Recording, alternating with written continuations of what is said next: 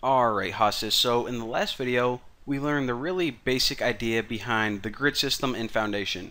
Basically our layout is going to be made up of rows and inside those rows we need to fill 12 columns. So this is what we did already and check it out. Behind the scenes Foundation takes care of all of the responsive stuff for us. We just have to worry about, you know, making the actual content for our website and none of the hard stuff. Pretty sweet. So the next thing I want to demonstrate is how to nest rows.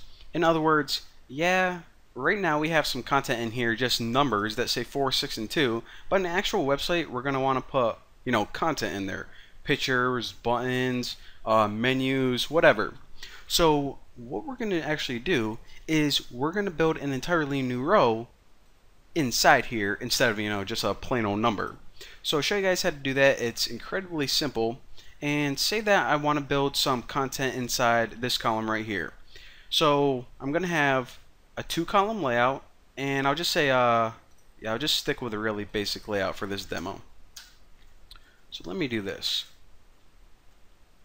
So this is the first column and I'll just say parent column. So inside here what we're going to do is we're just going to build an entirely new row. So a new row and inside it the columns have to take up 12 so nothing new pretty much like we're starting from scratch. So div class row. And inside here we're gonna make two divs. I'm just gonna have six and six. So div class I'll just say uh, medium six. Columns. And just so we don't have anything boring I'll just write like bacon and so we can actually see it, let me add a border. So style, border, I'll say one pix, solid red. And let me add another one. Holy tamale, right there. So we're pretty much going to have a layout inside a layout. Nothing that exciting, but this is how you nest. And let me add a comment that says nested row. Nested row.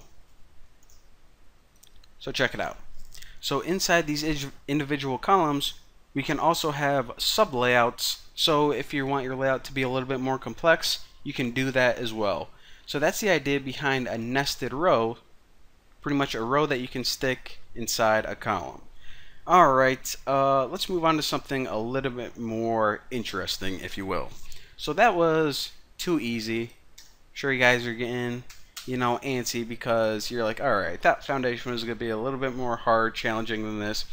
Well check it out. So up to now we have a single layout and we kind of let foundation take care of all of the responsiveness for us. But what if we wanted to do something like this? What if we said that we wanted to have a layout that whenever you're looking at it on a phone then you're just going to have it split perfectly down the middle. So 6 on the left and 6 on the right. Now, whenever you were looking at on a desktop, you wanted 2 on the left, so a skinny column, and 10 on the right. Alright, that sounds like it would be a lot of work, right? So what Foundation allows you to do is really easily make different layouts for different devices. And I'll give you guys a little cheat sheet right here. So there are three keywords that we need to remember. Small, and whenever you see small, just think of this like mobile and phones. Whenever you see medium, think of this like tablets and um, what those small things like Chromebooks or little notebooks. This would be a medium sized device, and large, this would just be something like desktop. And this also includes most laptops since laptops have pretty big screens too. So small, medium, and large for phones tablets, and desktops.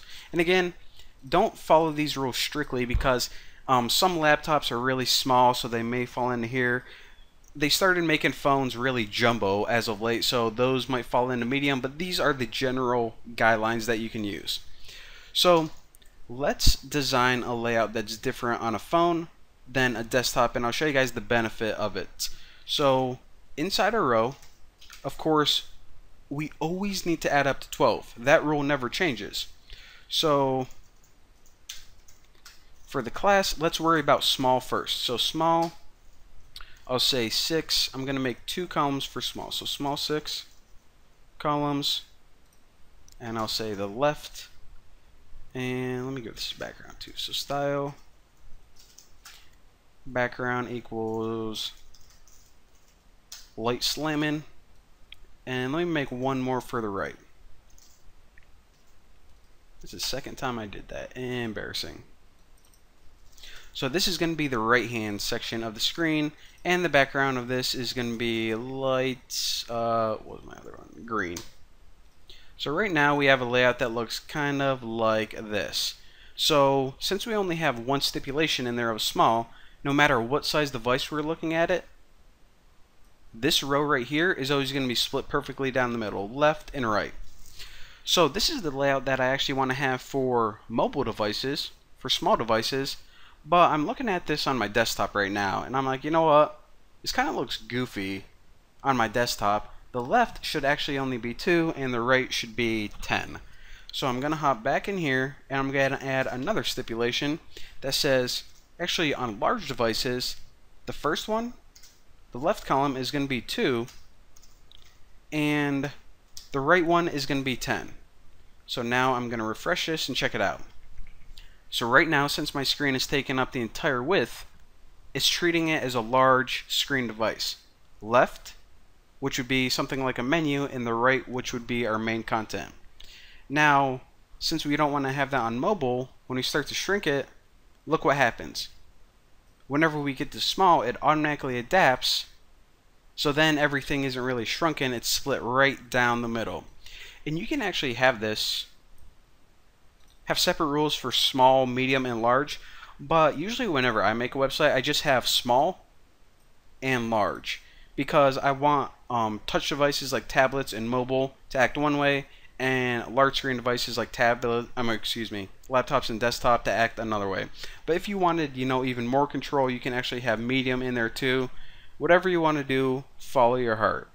But that, ladies and gentlemen, is how you nest layouts or nest columns and also how you can make different layouts for different size devices in Foundation. So a lot of stuff coming in your brain, but uh, from now on it, it probably gets a little bit easier because we're going to be getting into kind of the fun stuff. So now that we understand the basic concepts, we're ready to move on to the good stuff. Next video, see you then.